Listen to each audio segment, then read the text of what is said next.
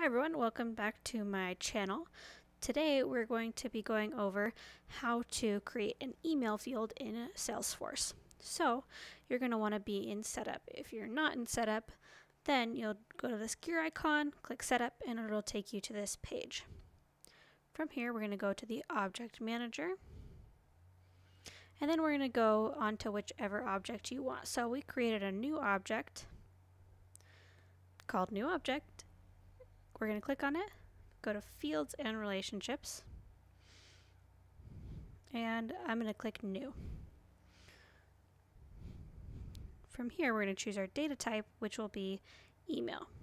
You can scroll up or down, click next, and it'll take you to the details page.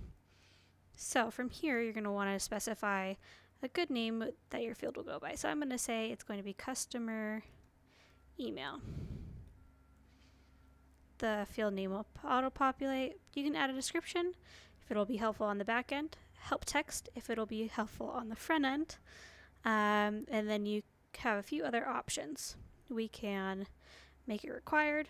Does it have to be unique? Is this an external ID for another system that's coming into Salesforce.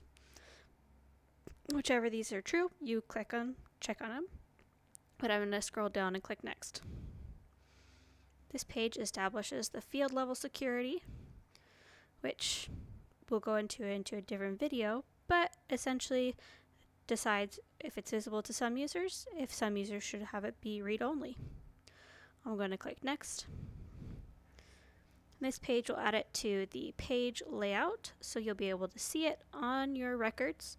But if you want it moved around, then you go to the page layouts section of the object. I'm going to click save. And we now have a new field of customer email. Thank you for joining me for this video. Be sure to give it a like and a subscribe, and I will see you guys next time.